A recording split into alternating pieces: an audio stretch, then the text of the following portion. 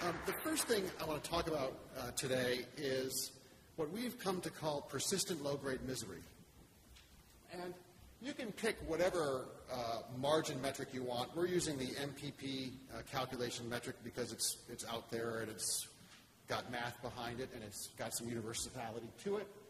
And what's remarkable about this to me is that um, $8 has been the insurance threshold, right? That's where you start getting coverage, and $4 is the disaster coverage threshold in this MPP regime. And if you look at it, we haven't really had what I would call disastrous MPP margin numbers, right? If you just look at this chart and say, eh, how are people doing? $8 is okay according to the system. You say, well, you know, we're not doing terrible.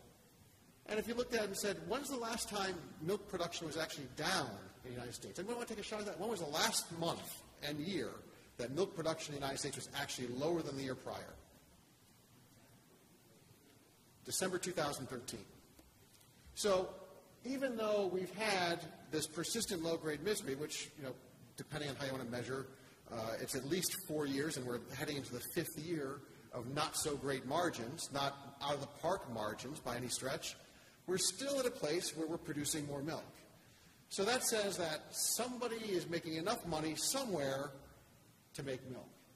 And when we think about this, I don't know if it's in the context of consolidation, but one of the things that I believe is tremendously underestimated is the impact that the ethanol revolution had on the Midwest dairy industry. And while some people say, well, was it, was, it must have been bad because we had high corn prices. And I would say, absolutely not. Ethanol was the best thing that happened to the Wisconsin dairy farmer in a long, long, long, long time. And this chart helps explain why. Because the orange line in this chart shows the cost to, to buy corn, and the green line shows the cost to grow corn. And you can see that big mismatch, right? And so when we had 20, Pete showed those years, right? He said they called them the glory years. When we had those years, we had $20, $22, $23 milk prices. We had $7 corn. Wisconsin dairy producers didn't spend, on average, $7 for their corn. They spent something closer to 4 And so we had a really good period here in the Midwest around that time. And what's happened since then? Well, ethanol is kind of dead, right? We've outproduced the blend wall. Um, you know, we still make ethanol, and it's still growing at a small rate. But ethanol is no longer the monster that ate the corn crop, right? We've, we've, we've sort of fed that beast, and it's a lot calmer now. And so in the post-ethanol era, what do we have? What's, what's the corn price today? 380 this morning, right? And so if you look at it, we have not had very much $18 milk when there's been less than $4 corn. So the blue circle there uh, represents 2018, I believe. And you can see, that, so, that, so across the bottom of the axis, you have the uh, class 3 price for milk. Across the x-axis, see, I'm, I'm, not an economist, it's the y-axis. Um, across the y-axis, you've got the price of corn, and you can see the years where we had really, really high milk prices were also the years we had really, really high corn prices. And I think there's a big shift back toward the West, just generically speaking, in terms of production economics, right? More, more grain buying, and a little bit of less favor for the Midwest in this context. And I think this is something that's still being underestimated as we go through it. Because the reason 2000, whatever, 11, 12, pick your year, was fun was because corn was $7. And that was counterintuitive.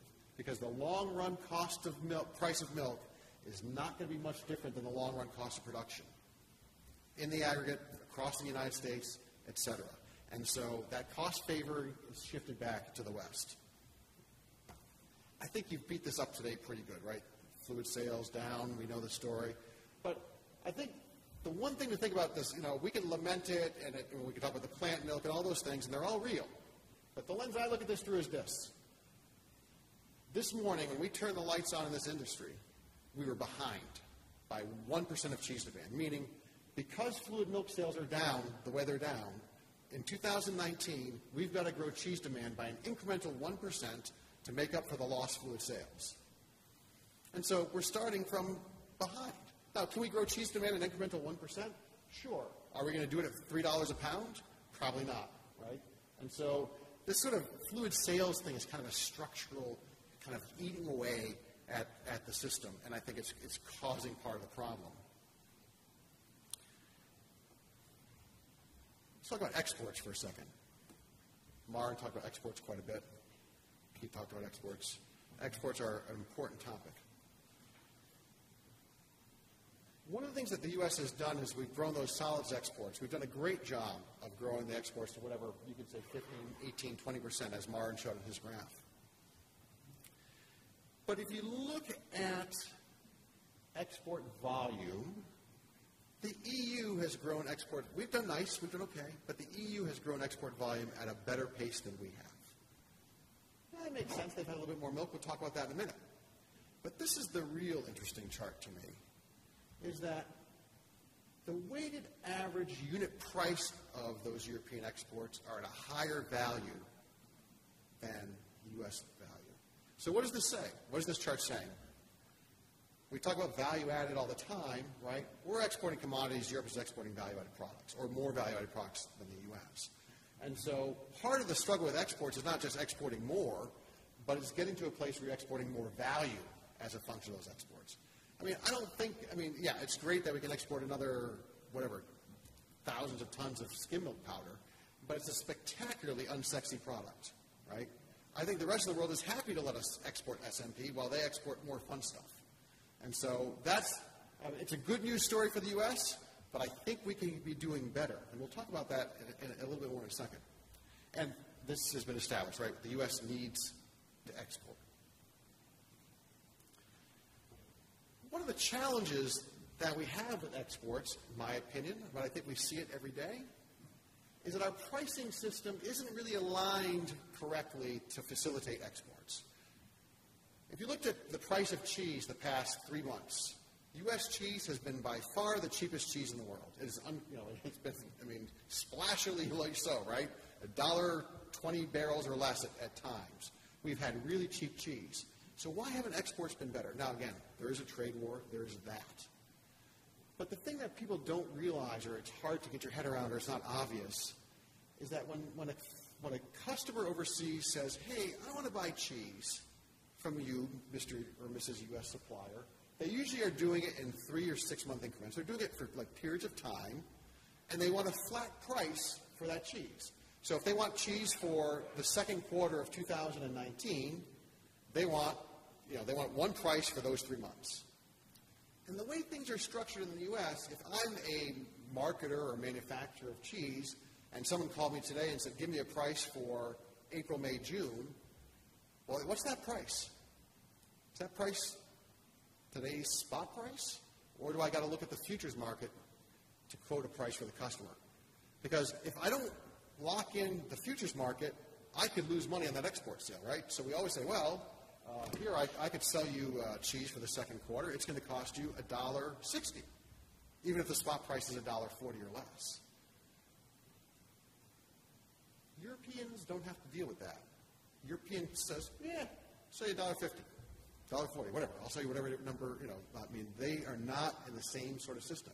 The people in New Zealand can say, eh, I'll say a dollar forty-five, because absent a pricing structure co-ops, marketers in the EU, co-ops, marketers in New Zealand, are not in that sort of rigid month-by-month pricing routine that U.S. marketers and manufacturers are. And so there's no way that a co-op is going to go quote a price for May, June, for April, May, and June and take a flyer. They're going to say, go look at the futures market. Well, if you look at this graph, the red line is the second quarter futures price. And so while U.S. cheese, spot cheese, has been the cheapest cheese in the world by a wide margin for several months, those second quarter futures prices have been the most expensive cheese. It's just recently that we're not the most expensive cheese in the world. And the gray line is the second half futures price, $1.67.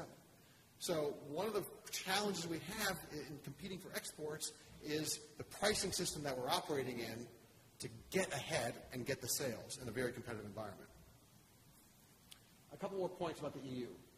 Um, EU added, has added 50 billion pounds in 10 years. So Marin's talked about this, the end of quotas, the sunset of quotas in 2015, really changed the competitive landscape globally. And if you look at average herd size, the U.S. herd size is at 234 cows today, on average. In Europe, it's still at 33 cows. So here's kind of a gut-wrenching possibility to think about, is that because, we're not just looking at, we're not just waiting out our neighbor down the street, as Peter, you know, I'm not going out of business, you're not going out of business.